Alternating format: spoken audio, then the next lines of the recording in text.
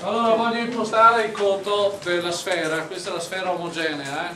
di raggio R maiuscolo, così siete in grado di farlo voi e lo porterete all'orale, non voglio farlo io completamente, ma almeno impostarlo abbastanza che lo posso con onestà chiederlo. Cosa è successo al piede? Beh, no niente. No, è l'amore. Quindi la strategia, la strategia, del calcolo è quella di dividere la sfera in tanti dischi di raggi opportuni uh, in modo che i dischi impilati in modo appropriato seguono il contorno uh, della sfera. Allora pensate all'iesimo disco, questo è una sfera omogenea, quindi questo disco è un disco omogeneo. E il disco omogeneo avrà un certo spessore delta xi. Se io vi chiedo qual è il, il momento di inerzia di un disco, e il disco è fatto così, dove ha un certo raggio e ha anche, se volete, anche un certo spessore, qual è il momento di inerzia del disco? E immaginate che il disco sia pieno. Il momento di inerzia rispetto all'asse passante per il centro è un mezzo mr quadro, cioè il momento di inerzia non frega niente della, della, della dimensione lungo l'asse, gli interessa la dimensione dall'asse. Pensateci un attimo. Allora, il contributo, il momento di inerzia dell'iesimo disco è uguale a un mezzo, la massa dell'iesimo disco per il suo raggio. Allora, questo disco blu ha raggio RI, quindi mettereste RI quadro Prima cosa. Poi uno comincia a ragionare e dice, vabbè, RI cos'è? RI al quadrato è uguale a R al quadrato meno XI al quadrato, dove XI è la, è la posizione del centro rispetto al centro del disco. Quindi se volete potete pensare che al centro, del, al centro della sfera, scusate, al centro della sfera potete mettere se volete l'origine degli assi x, y qualcosa del genere. Molte... Dovete capire e cogliere il senso della matematica. Qual è la... Per esempio, se io chiamo questo l'equatore, vedete questo disco è a una certa um, uh, latitudine, ok? Quindi in un certo senso la variabile xi sta dicendo di quanto questo disco è su rispetto a, al piano dell'equatore. Quindi il disco che è sull'equatore, questo disco qua, che raggio ha? R maiuscolo. Invece quel disco che è sollevato di xi dall'equatore non ha raggio R maiuscolo, ma ha raggio RI maiuscolo. E cos'è RI? Cioè cos'è questo? Beh, questo è un triangolo rettangolo. Eh? Questo è l'ipotenusa che è il raggio R della sfera. Questo cateto qui rappresenta di quanto è alzato questo disco rispetto all'equatore e quindi il raggio di questo disco è semplicemente R maiuscolo quadro meno xi al quadrato. Questo deve essere il primo spunto, la prima intuizione. Quindi questo qui subito la scrivete così.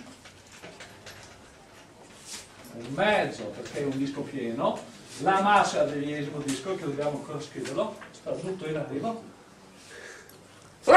Luce intensa fa, luce intensa fa, fa, se avete lo statuto che non vuole venire, guardate la luce intensa. Quindi questo è RI al quadrato, quindi tutta questa roba qua. Adesso dobbiamo pensare alla massa dell'iesimo disco. La massa dell'iesimo disco è la massa di questo affare qui che è un disco con un certo spessore. Quindi, siccome il materiale di cui questa sfera è fatta è una sfera omogenea, quindi avete la massa dell'esima sfera è uguale a ρ, la densità volumetrica, quindi questi sono certo di chili al metro cubo, moltiplicato per i metri cubi, cioè per il volume del disco. Quindi questo è il volume dell'iesimo disco. E cos'è il volume dell'iesimo disco? Quel disco lì, la scrivete ovviamente in RO, quindi è 2 pi greco RI, che è l'area diciamo della faccia del disco, per lo spessore. E lo spessore cos'è? È delta XI. Quindi questo è delta... Um, no, sto scrivendo questo non c'è un figo, sai questa è la circonferenza, ho bisogno dell'area, quindi è pi greco RI al quadrato, questa è l'area della faccia del disco, per il suo spessore, d'accordo?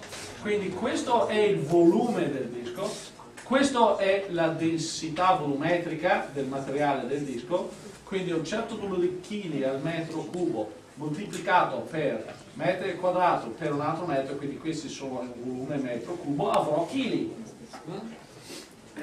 La massa dell'iesimo disco, d'accordo? È il volume di quel disco moltiplicato per ρ.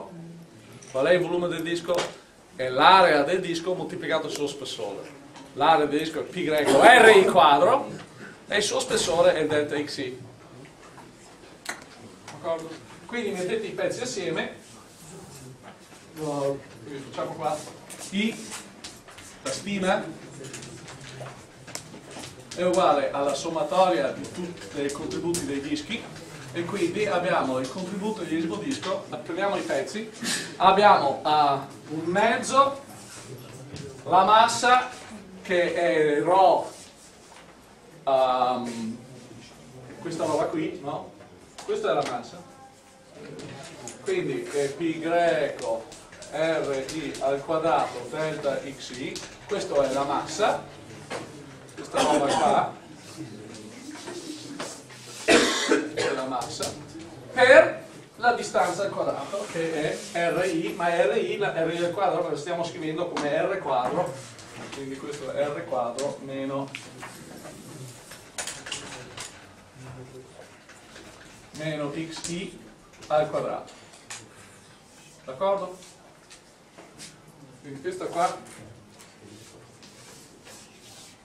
è RI ci siamo? ho fatto giusto?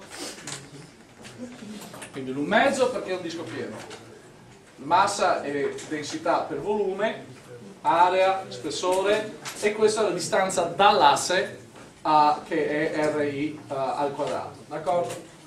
quindi um,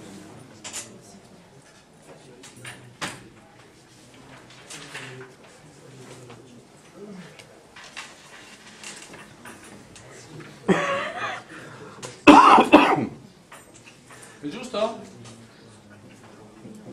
Momento di, di paranoia.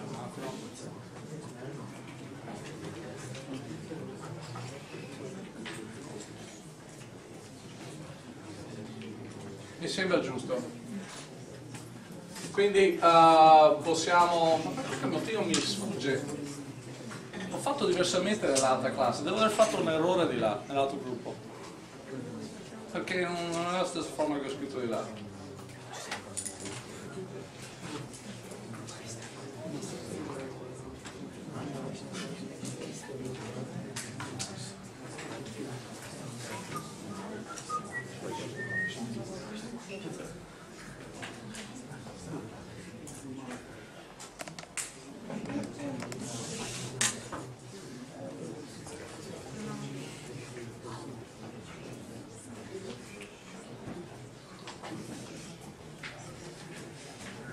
Devo aver fatto un errore di là che non...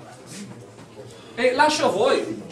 Come vedete questa è una sommatoria che condivide dei pezzi, vedete che c'è un mezzo Rho pi greco che esce fuori e uh, dovete con molta pazienza fare questo, quindi avete, dovete svolgere questo, è questo, questo per questo, meno questo per questo. Fate con calma e cercate di tirare fuori la risposta. Uh, la risposta è 2 quinti MR quadro. Che strano, cosa ho fatto dall'altro gruppo? Non ho voglia di fermare qualcuno e guardare i suoi appunti.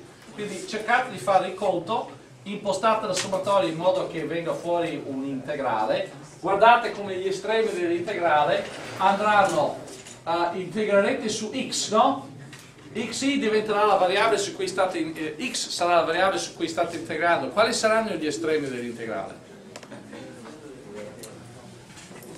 Da meno r a r, cioè avrete gli estremi dell'integrale, sarà un integrando, come grata, dx da meno r a r, cioè da, da, questo è più r questo qua giù è chiamato meno r se volete. Pensateci, guardatelo, se qualcuno uh, si perde eventualmente uh, casomai giovedì mi seccherà farlo perché non vorrei dedicare altro tempo a questo, è un conto che credo che ognuno di voi dovrebbe essere in grado di fare per l'orario, va bene? Invece voglio continuare a mettere carne sul fuoco sulle cose che abbiamo fatto nell'ora, eh, nella seconda ora di stamattina.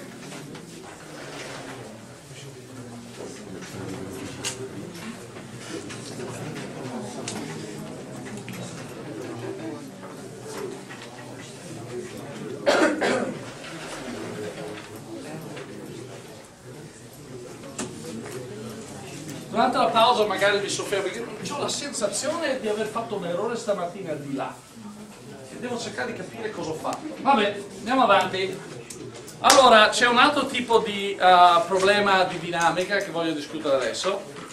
E uh, la scrivo e, e poi uh, casomai faccio qualche commento adesso in altri momenti. Allora, la situazione è questa. Shh. La situazione è questa. Immaginate un tavolo, va bene, lubrificato, avete l'aria compressa, avete dei, eh, dei, lubrificanti, quindi non ci sarà, sarà l'interazione um, nel senso orizzontale del termine tra questo blocco e il tavolo. È chiaro che c'è nella direzione verticale, il tavolo impedisce al blocco di cadere, quindi il fatto che nella direzione y il corpo non stia accelerando nella direzione y il corpo non stia accelerando, io dico che la massa del corpo per l'accelerazione nella direzione y, chiamiamo questa la direzione x e questa direzione y, questo è 0, ho una forza nulla, siccome uh, c'è però, questa è la forza risultante, quindi la forza totale nella direzione y del corpo deve essere 0 perché io non vedo alcuna accelerazione, ma la forza della direzione y è fatta di due pezzi, non vi pare? C'è la forza peso e c'è la forza che il tavolo esercita sul corpo. Se il tavolo non ci fosse, il corpo cadrebbe lungo la verticale. Quindi la forza totale a direzione y è la somma dei due pezzi, uno è la forza peso e l'altro, se volete, è la forza dovuta al tavolo. Ok? Magari scrivo così. Questo è dovuto alla terra, dovuta alla terra questa è la forza di reazione, chiamiamola così, del tavolo, dovuta al tavolo. Allora, se chiamo questa la direzione y, magari la direzione positiva mi piace verso il basso, perché se il tavolo non ci fosse cadrebbe così, no? Allora, è evidente che questa so scriverla, perché questo è uguale alla forza del tavolo, la forza del tavolo, la scrivo col segno più, perché la forza che qui dove sono i gessi gialli.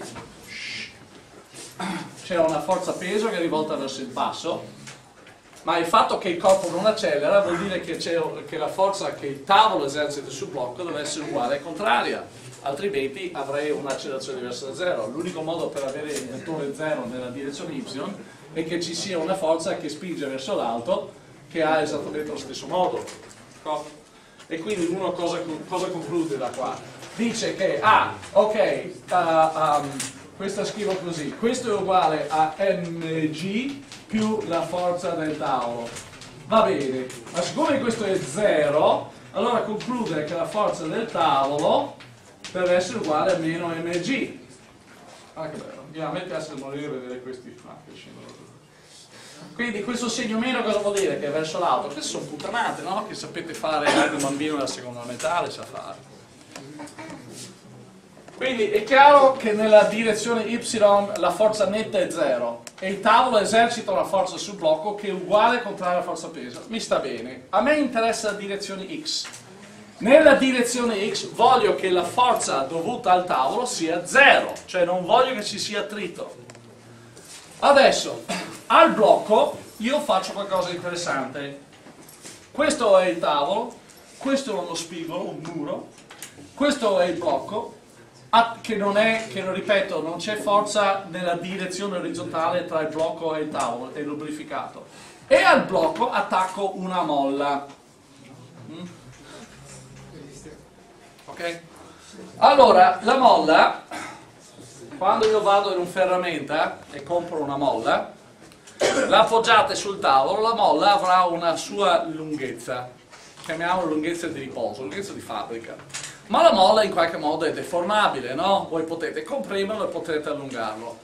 Quindi si fa, una, si fa una scoperta molto semplice.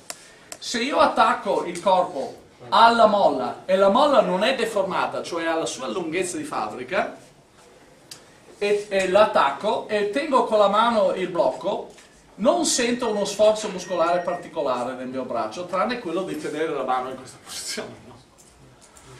Uh, infatti, se lascio la presa senza comunicare una velocità al corpo, cosa difficile a me perché ho la mia mano che trema, se io lascio la presa, cioè se il corpo la tengo fermo e lascio la presa, quindi la faccio partire da fermo, scopro che il corpo non si muove, sta lì.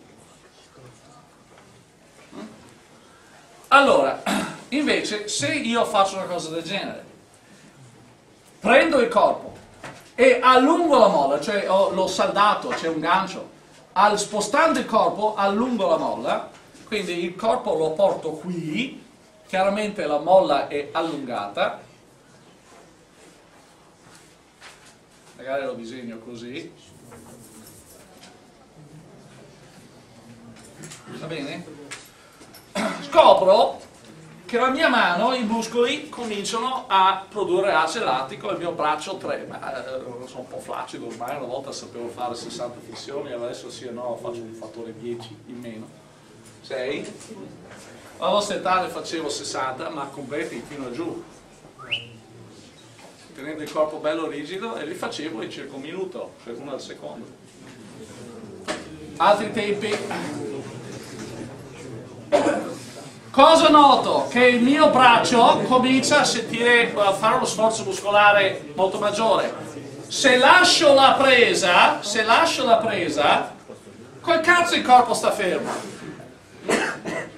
Ok? Viceversa, se il corpo lo porto qui, comprimendo la molla,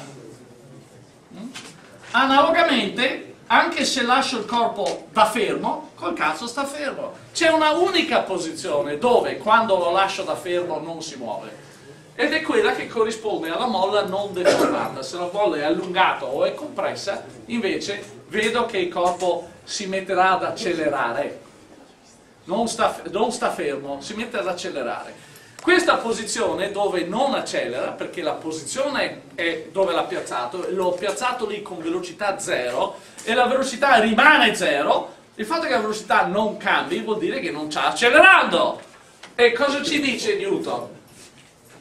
Nella direzione x ci dice che se vedo che l'accelerazione è zero, deduco che la forza è zero.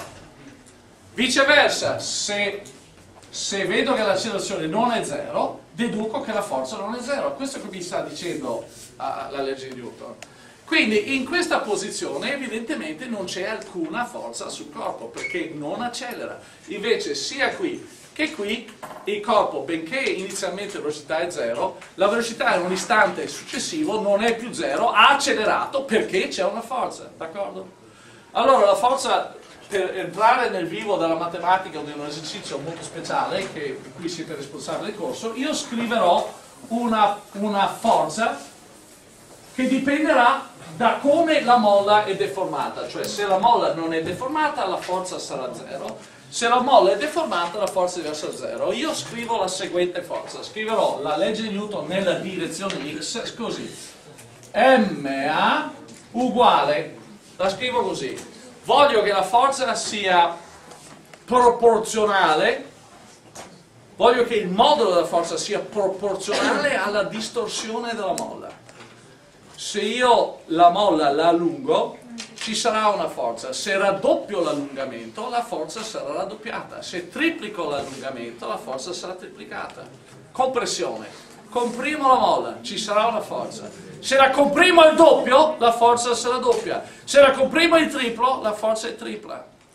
Non solo, voglio che la forza sia nella direzione, uh, chiamiamo questa la direzione x, quindi chiamerò uh, direzione positiva la molla allungata, direzione negativa, anzi mettiamo, fatemi dire una cosa più cara, prima di mettere il verso sull'asse x, questa posizione userò l'asse x, ma dov'è la direzione positiva?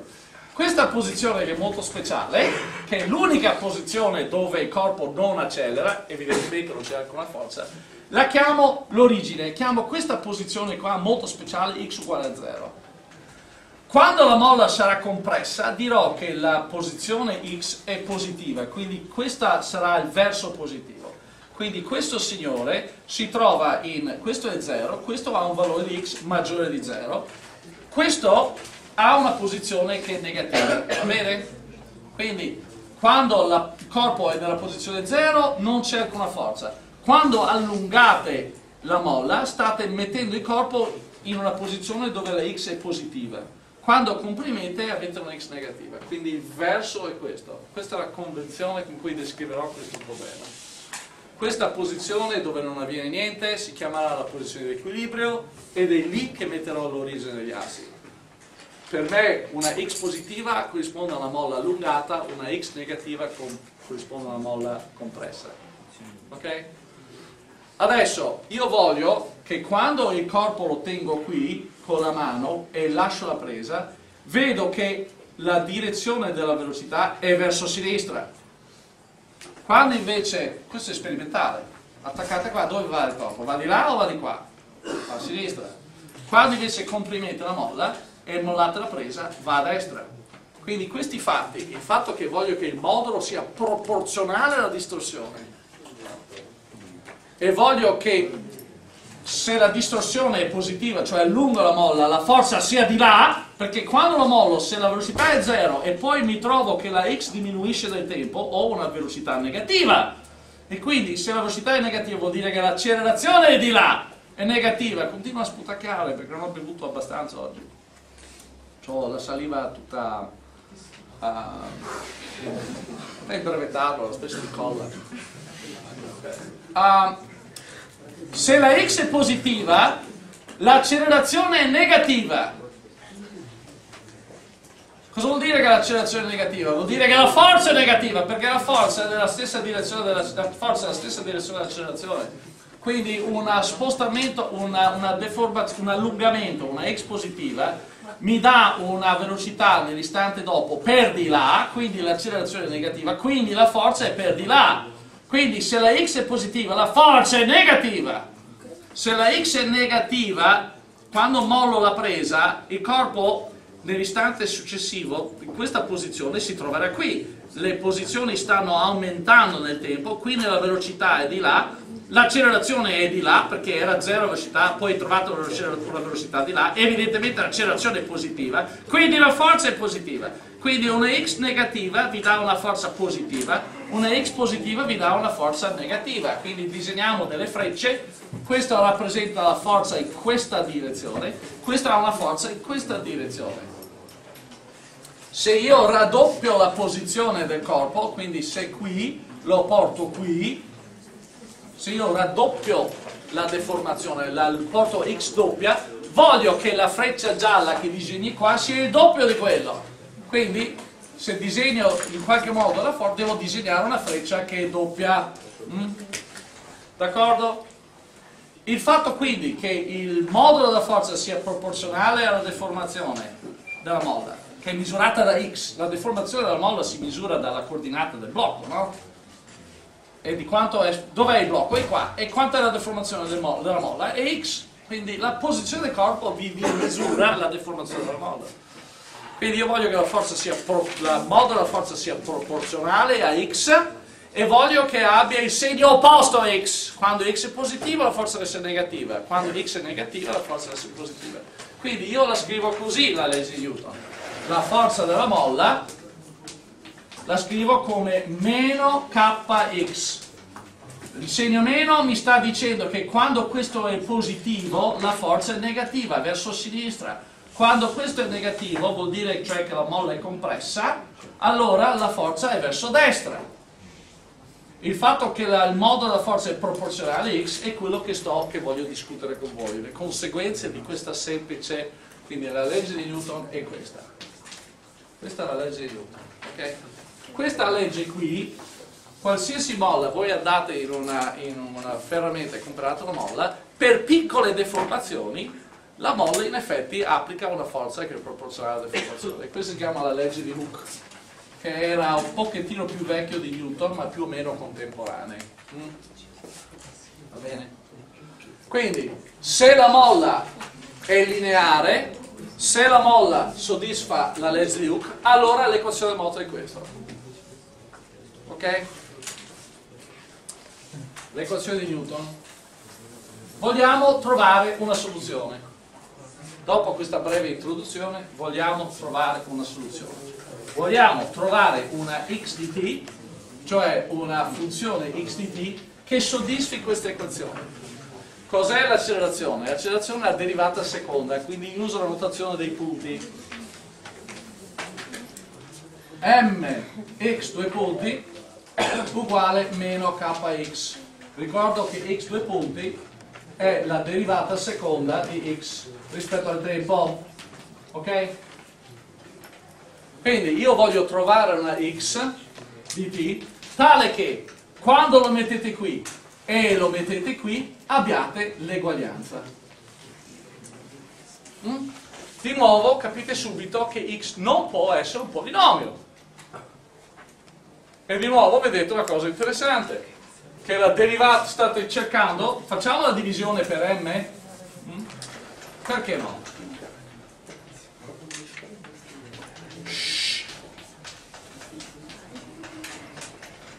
Facciamo quello che ho fatto stamattina, mettiamo a sinistra tutto quello che dipende da x. Quindi questo diventa x due punti più k diviso m x uguale a 0. Non c'è niente a destra che non dipende, che non c'è niente a destra, quindi c'è 0.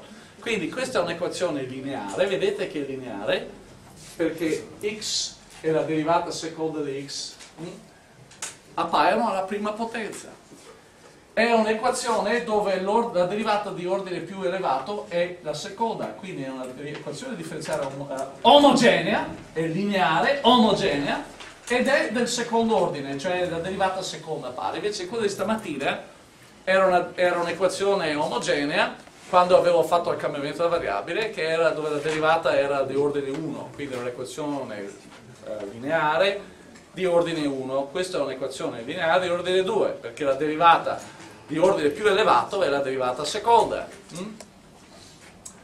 Scritta così o scritta così, capite subito che non può essere un polinomio. Potrebbe essere un esponenziale? Eh, eh. Perché cos'ha l'esponenziale? Che la derivata della funzione e all'x è uguale a all'x. Qual è la derivata seconda di e all'x? E all'x. Qual è la derivata decima di e all'x? E alla x. Quindi la derivata seconda è la funzione stessa moltiplicata per un'opportuna costante. Usiamo la tecnica di stamattina. Quindi, dove la scrivo? Facciamo una prova, una prova, una funzione di prova. Sarà un esponenziale. Di nuovo, siamo in fisica, quindi questo non ha senso scriverlo, perché t è un tempo. Quindi l'argomento, la funzione esponenziale deve essere adimensionale e la funzione esponenziale stessa è, è adimensionale. Quindi siamo obbligati, obbligati a mettere un qualcosa qui che abbia le dimensioni di un tempo la meno 1 in modo che l'esponente sia adimensionale e siamo obbligati a mettere qualcosa qua davanti in modo che, che questo deve avere le dimensioni di una lunghezza. Quindi alfa le dimensioni di alfa è un tempo alla meno 1 e in questo esercizio la dimensione di A è una lunghezza, perché x è una lunghezza, no? Siamo obbligati a scrivere questa, la funzione prova deve avere questa forma qua. Ma alfa e A che senso hanno? Beh, A è il più facile da interpretare, perché A è il valore di x quando t è uguale a 0, non vi pare? Quando t è uguale a 0 qua ho 0 e alla 0 vale 1, quindi x per t uguale a 0 vale a. Quindi a cos'è? A è la posizione iniziale. Se volete possiamo anche scriverla x0. Lasciamolo a per il momento. L'importante è che voi già capiate che a è uguale al valore di x quando t uguale a 0. Quindi magari potete cambiare notazione e chiamarla x0. Lasciamo a per il momento. Quindi proviamo a, impor- a usare questa equazione e sbatterla qua e sbatterla qua e a imporre l'eguaglianza, vedere se c'è un, un vincolo su cosa cazzo è alfa. Alfa è qualsiasi cosa. Allora, qual è la derivata prima della funzione di prova? E ovviamente questo è alfa a è alla alfa t. Qual è la derivata seconda? Perché ci serve calcolarlo, perché questo stiamo calcolando a sinistra. Derivata seconda è uguale a alfa quadro, perché faccio la derivata un'altra volta, scenderà all'alfa. Quindi, imponiamo questo qui, quindi abbiamo alfa quadro a è alla alfa t deve essere uguale a meno kx, eh, scusatemi, meno k diviso m per la funzione di prova, no? Che è a è alla alfa t. Questa è la condizione che vogliamo imporre. Questa è la condizione che la funzione di prova sia soluzione. Mm? Dovete avere l'eguaglianza in qualsiasi istante del tempo. Questo deve essere vero per qualsiasi istante del tempo, per ogni, per ogni tipo. È evidente che l'eguaglianza qua non è dovuta alla A, è evidente che l'eguaglianza non è dovuta all'alfa t. Mm? Se volete, E all'alfa t è sempre diverso da 0 e quindi potete dividere tutto per E all'alfa t, cioè E all'alfa t è sempre diverso da 0, quindi potete tra, dividere A, se volete una funzione triviale, allora è evidente che A uguale a 0 vi dà la soluzione e uno si chiede, ma questo uh, è una soluzione? Certo che lo è, la funzione identicamente nulla, che è 0 per ogni istante del tempo, è una soluzione dell'equazione di Newton, non vi pare? Perché state dicendo, qual è la derivata prima di una funzione u sempre uguale a 0? Qual è la velocità? Cos'è questa funzione qua? Questa corrisponde al corpo che è nella posizione x uguale a 0 e non si sposta. Sta fermo. Quindi una soluzione di questo tipo, che velocità ha? 0. Qual è l'accelerazione? 0. 0 è uguale a 0? Certo. Quindi quella è la soluzione triviale. Corrisponde al corpo qui, che non fa un cazzo. Sta fermo. Ok? Ma quella è una soluzione noiosa, non succede niente. Se volete che succeda qualcosa di fisicamente interessante, dovete immaginare che A sia diverso da 0. E quindi, essendo diverso da 0, potete dividere per A. Via, via. E vedete che il contenuto matematico dell'aver imposto che questa soluzione sia, che questa prova sia la soluzione, è che alfa quadro deve essere uguale a meno km. E qua i vostri occhi dovrebbero strabuzzare. Qua si apre un mondo completamente nuovo. Perché alfa non è un numero reale, è un numero immaginario.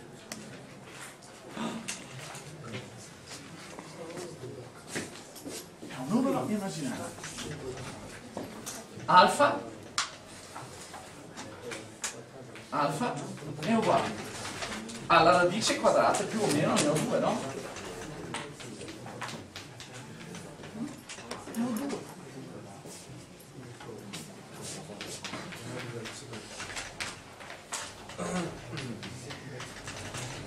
Cos'è I? Credo l'avevano già detto a suo tempo, non mi ricordo più, forse ho detto al precorso. Uh, I, per i matematici, è la radice di meno 1. Alcuni ingegneri specialmente gli elettrici, uh, indicano uh, uh, la radice quadrata di meno 1 con la lettera J. E argomentano questo fatto perché I per loro, per gli elettrici, è la corrente elettrica. Ho già detto come io rispondo? Io ho detto, col cazzo, I è la corrente elettrica, perché per me la corrente elettrica è con la I maiuscolo. Infatti J per me è la densità di corrente. Come la mettiamo?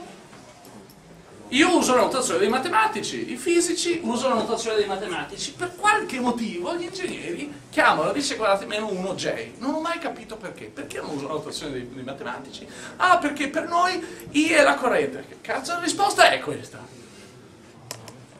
Perché J è la densità di corrente! È una risposta del cazzo, però l'ingegnere lo fa, non, questo deve essere cancellato, ok? Se no i colleghi quindi io, da umile fisico, uso la notazione dei matematici. Non ho la pretesa di cambiare una notazione. Matematici si fanno il loro mestiere, no? Prendo da loro.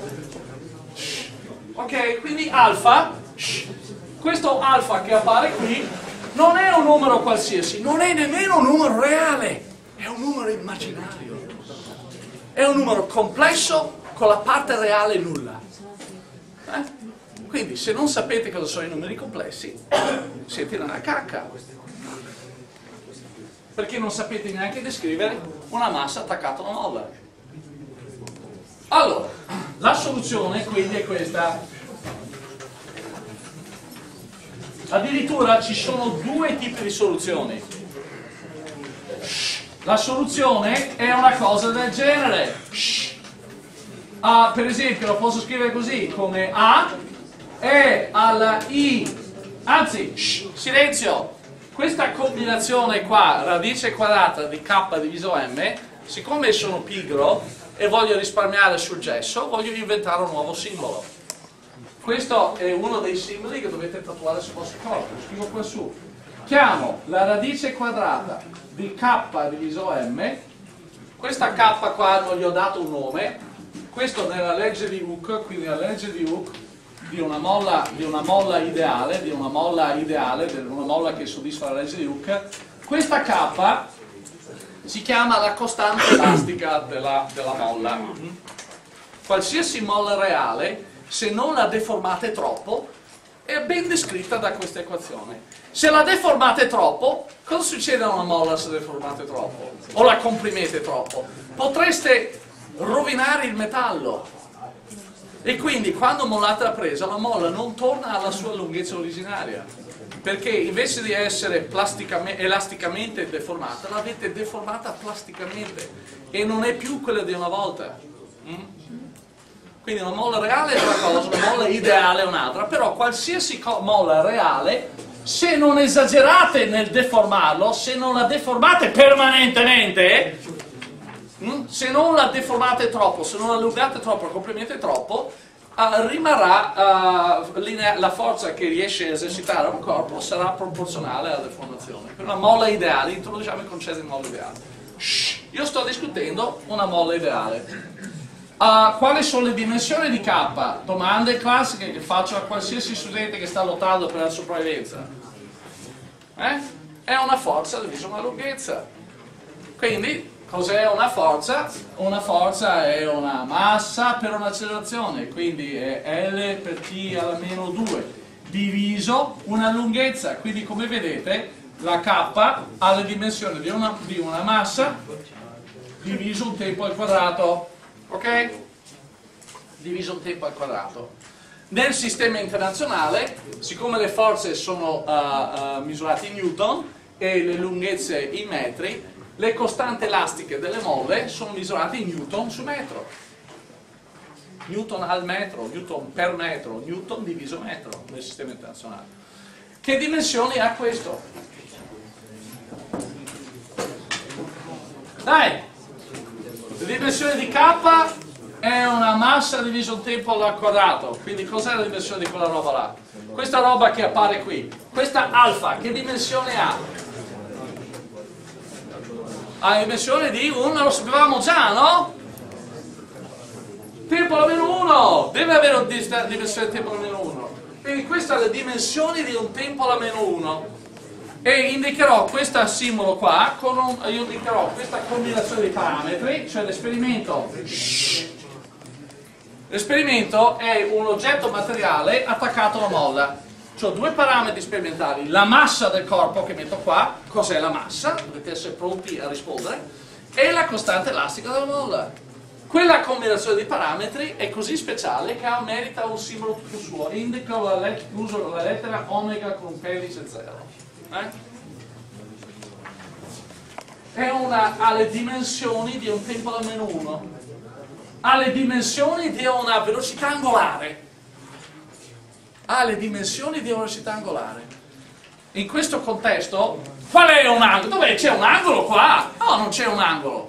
E quindi in questo contesto, questo omega viene chiamato pulsazione, però c'è un angolo, non si vede ma c'è. Quindi è anche corretto chiamare la pulsazione una specie di, di velocità angolare, ma dove cazzo è l'angolo? Non si vede ma c'è. Adesso tra un attimo lo dico. Quindi questo si chiama pulsazione. Eh?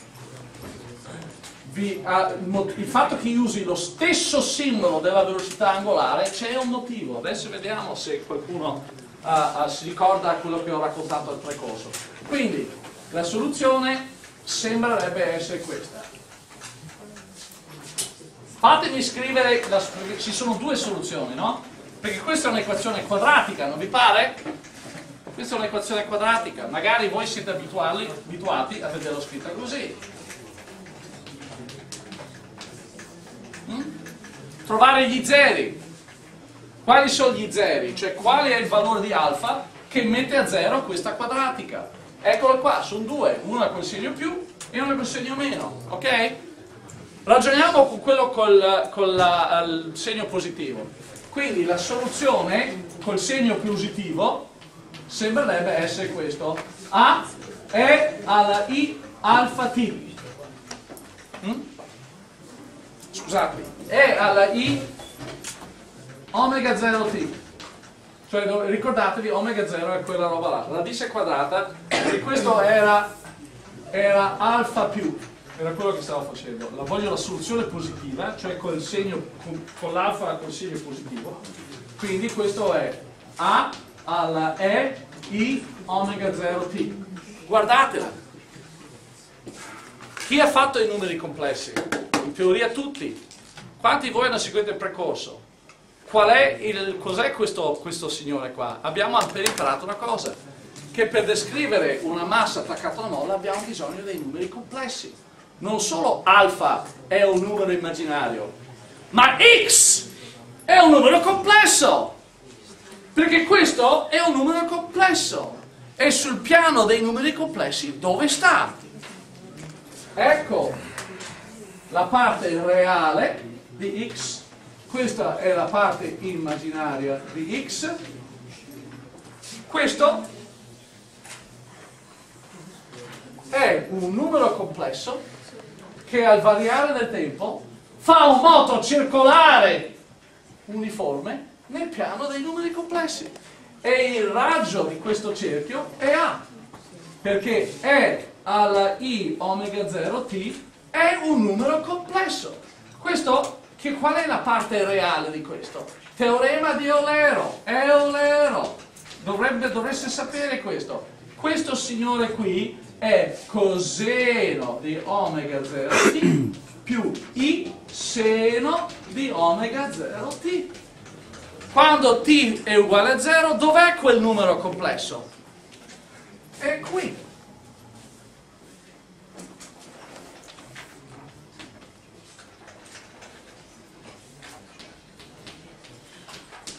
Pensate all'argomento di questo coseno, l'argomento di questo. La chiamate θ di t. Cos'è θ di t?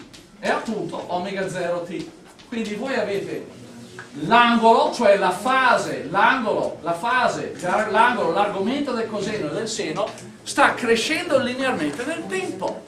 Quindi quel numero complesso sta facendo un moto circolare uniforme in senso antiorario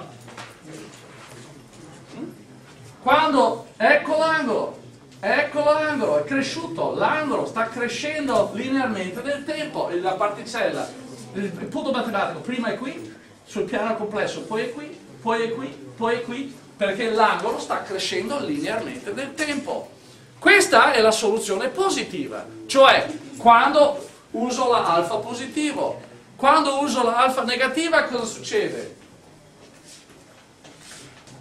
ho un numero complesso che va in senso orario. Eh? Quindi per descrivere una massa attaccata a una molla avete bisogno dei numeri complessi, avete bisogno di capire il teorema di Eulero, che è un numero complesso scritto in questo modo qui, può essere pensata come a, a una, la parte reale è un coseno e la parte immaginaria è, è, è, è il seno di teta. Se qua c'è il segno più, allora avete la parte immaginaria più il seno. Se qua c'è il segno meno, avete coseno meno il seno. E quindi vedete che omega 0, questa strana combinazione dei parametri sperimentali, k diviso m è stata s quadrata, è veramente una velocità angolare. È la, è la derivata di come è l'angolo, dove è l'angolo? Nel piano dei numeri complessi, di come quell'angolo cambia nel tempo. Voi vedete la massa attaccata a una molla e non vedete mica un moto circolare. Ma la matematica di un moto oscillatorio, per questo è un oggetto che va avanti e indietro, no? La, questa molla che va avanti e indietro, voi la potete guardare nel mondo dei numeri, chiamiamoli reali, e non vedete nessun moto circolare, oppure la potete guardare col cervello aperto di un matematico che dice questo è descrivibile come il moto di un punto nel piano dei numeri complessi. E il moto che tipo di moto è? È un moto circolare uniforme. Quindi quell'angolo, la fase del numero complesso, la fase del numero complesso, lo riscrivo meglio, questa è la fase del numero complesso, vedete? Lo scrivo meglio, quindi x più o meno t, avete una, un valore a più o a meno, perché potrebbero, questa costante qua, dov'era la costante?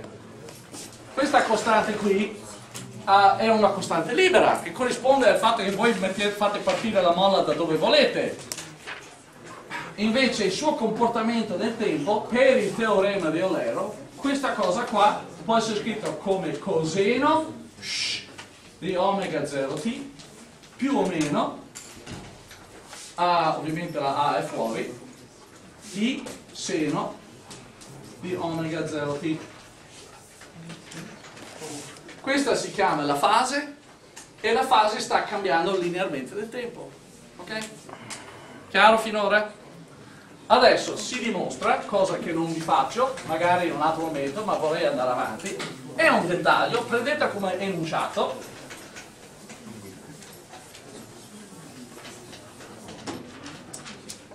prendetela come enunciato, per il momento la x, la alfa è un numero immaginario e la x è un numero complesso, eh? che ha una parte reale e una parte immaginaria si dimostra che se io voglio che x sia un numero reale, shh, quindi questa notazione qua, permettetemi di scriverla in questo modo.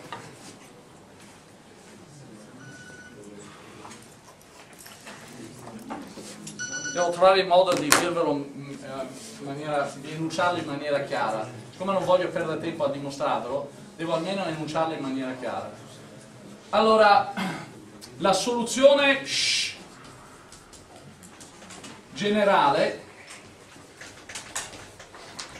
sarà una cosa del genere. Cioè con x che è elemento dei complessi. Sto scrivendo così a ritroso. Uh, la soluzione generale sarà una cosa del genere.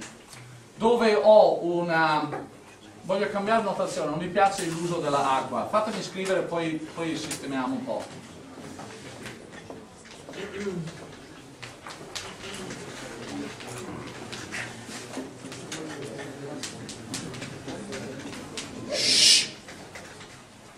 È il motivo di stare zitti, di più per star zitti se non capite bene quello che sto facendo. Non vi pare?